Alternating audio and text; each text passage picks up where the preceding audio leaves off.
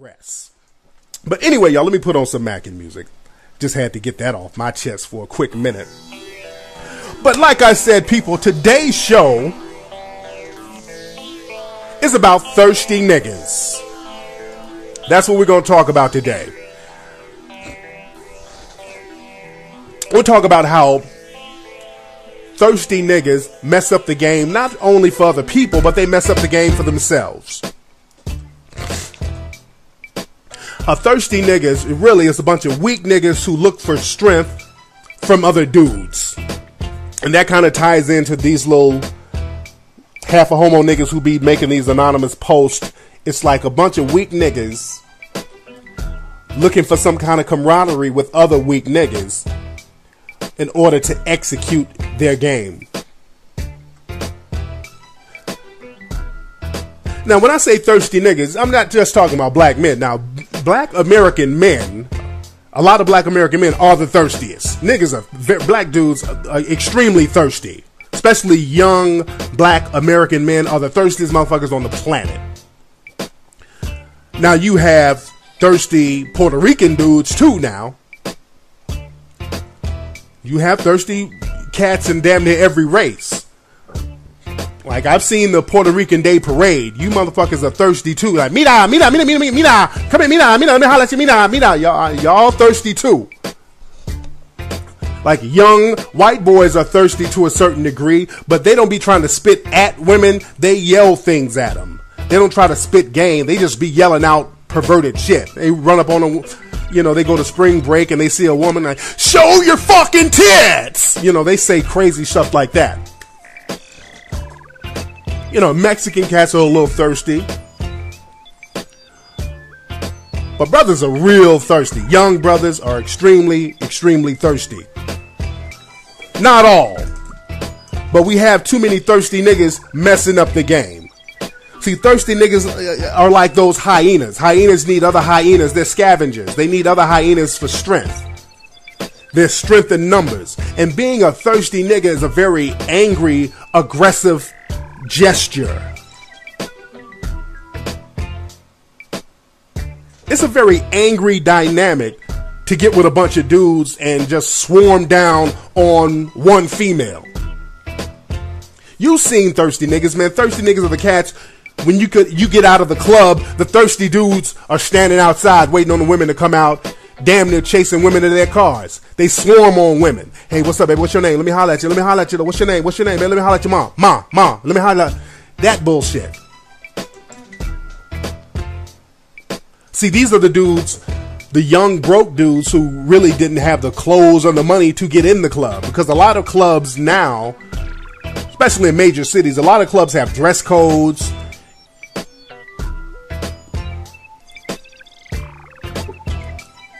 And a lot of dudes can't get in on the guest list, so you have to pay to get in. So a lot of young broke dudes can't get in. So what they'll do, they'll just sit out in the parking lot and do some half-ass parking lot pimping, assaulting the women damn near. That's why I don't even like when I whenever I go out, I don't like waiting until the club is over because I'm not trying to be around thirsty niggas. That messes the whole game up. That puts the women in a very defensive frame of mind.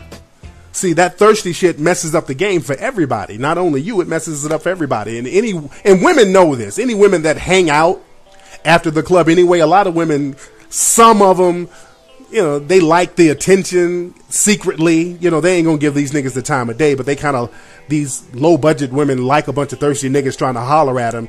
And you have some women who go out to the club with their friends and their homegirl wants to stay to the end of the night. So they're women who are aggravated by that thirsty nigga dynamic.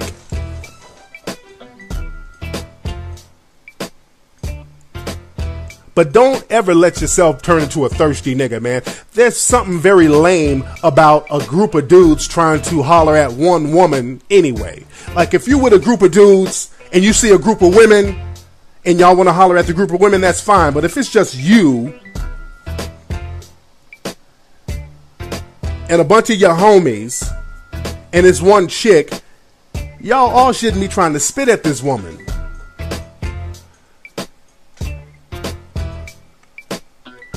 I mean, thirsty niggas, man. It, it's there's just no tactfulness in it. There's no tact, no strategy, nothing.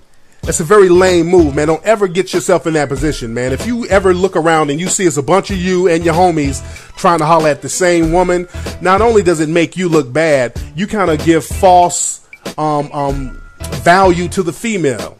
Because the woman, she really ain't gonna give you the time of day, but then she's gonna start feeling extra fly, like, oh, look at all these niggas trying to holler at me. I'm just that bitch. See, you put her on a pedestal and you put yourself a, a, a notch below. And you feel that psychologically. You don't put women on pedestals like that. A bunch of thirsty niggas acting like you ain't never seen pussy before. That's corny, man. Even if you are a young guy, I mean, I can understand young guys going out like that, but I don't agree with that. You don't have to do it still. Fuck that. I don't care how young you are. Hell, I, I was a teenager. I ain't never been no thirsty nigga. None of my friends were never on that thirsty shit. Chasing women. Fuck that. Chasing women down the street. I mean, y'all, some of these thirsty dudes be literally chasing women down the street. I mean, literally. I mean, thirsty niggas are like zombies almost, man. It's like they be women be running from nigga. If a woman is running from you, just charge it to the game. I can understand you want to be persistent, you want to put your bid in, you want to be a bold dude, but when the bitch is running from you, just let that one go. I mean, y'all niggas are like zombies. The bitch be running down the street and it'd be like a thriller video. Like, shit. Hey baby, let me holler at you. What's your? Let me let me holler, baby. What's your name?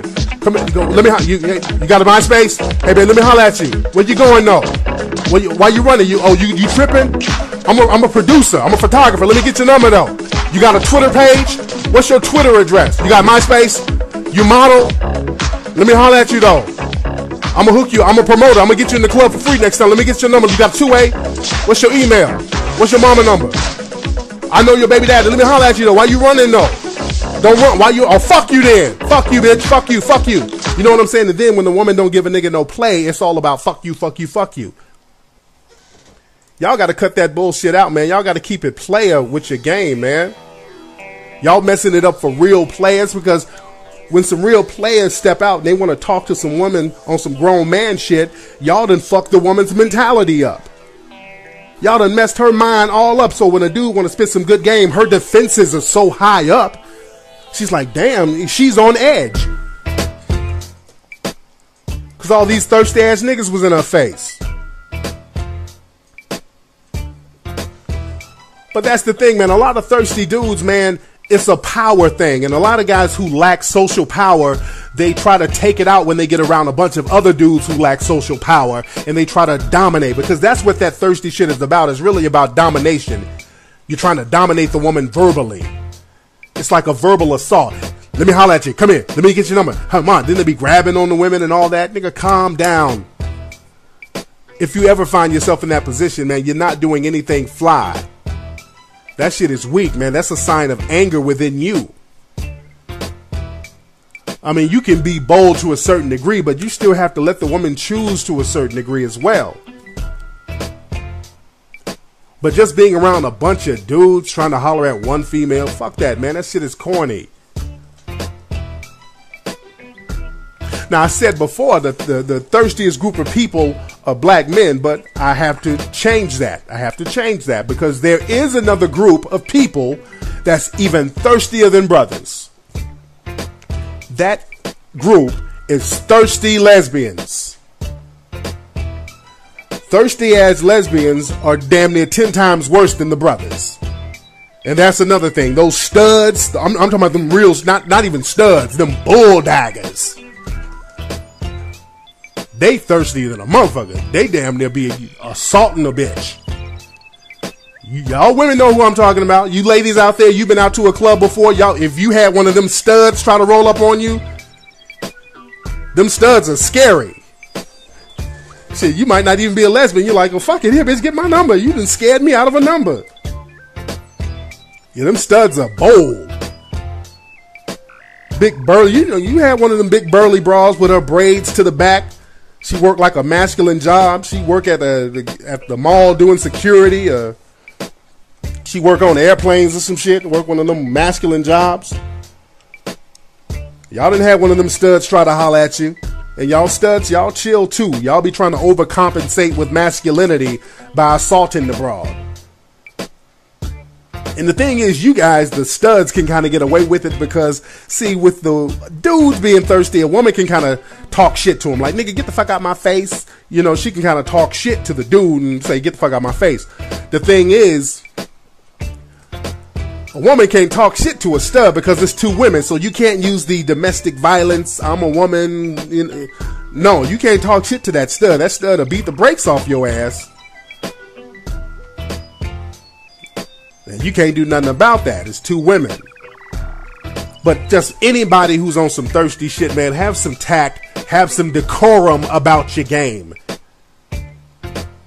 Be smooth about your game. I don't give a damn how much of a stud you are, how much of a young nigga you are. You can still be smooth. You can have tact. You don't have to be overly aggressive when it comes to to getting at people, man, because that shows anger within you. Also, man, if you keep getting rejected like that, some people, what you do, you use that aggressiveness to shield um, insecurity. You're like, okay, I'm going to keep getting rejected, but I just have to be bolder and bolder and bolder next time, which is cool to a certain degree, but you don't want to keep getting rejected like that you want to learn some type of tact. You want to learn some type of strategy. You want to draw people into you. And you do that by having strong inner confidence, which is something I talk about all the time at the risk of sounding cliche. You got to have that inner confidence within within yourself. But please stop being thirsty as a motherfucker, assaulting people, trying to spit when you're in a group of uh, dudes, trying to spit when you're with a group of studs. Keep it PIT.